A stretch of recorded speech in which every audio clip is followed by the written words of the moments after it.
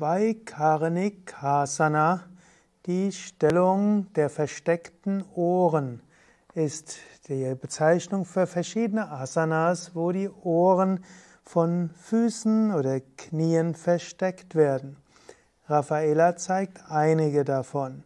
Zum einen kannst du im Sitzen die Fußsohlen auf die Ohren setzen das ist eine Gleichgewichtsstellung und eine Stellung für die Flexibilität der Hüften und eine gute Massage für die tiefen Bauchorgane.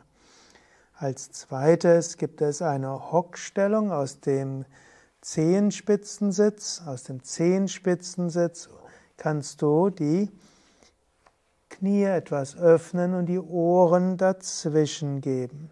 Dann kannst du die Hände hinter dem Rücken falten.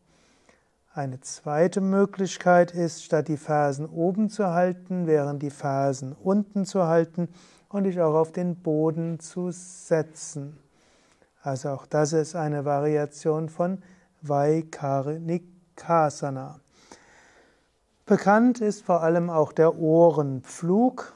Aus dem Flug herauskommend gibst du die Knie rechts und links neben die Ohren und faltest dann die Hände auf dem Boden oder gibst die Unterarme in die Kniekehlen und faltest die Hände hinter dem Kopf.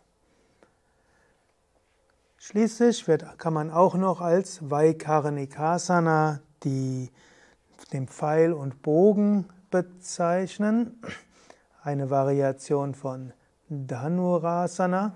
Du gibst einen Fuß zum Ohr und damit ist das Ohr unsichtbar. Das hilft auch der Flexibilität in den Hüften. Garote in seinem Buch Encyclopedia of Traditional Asana erwähnt auch Vaikarnikasana. Er sagt, dass diese Vaikarnikasana in mehreren Werken erwähnt wird, aber nicht genauer beschrieben wird. Und in modernen Traditionen werden die Asanas, wo die Füße bedeckt, die Ohren bedeckt sind, als Vaikarnikasana bezeichnet. Mehr Informationen zu diesen und allen anderen Asanas auf wiki.yoga-vidya.de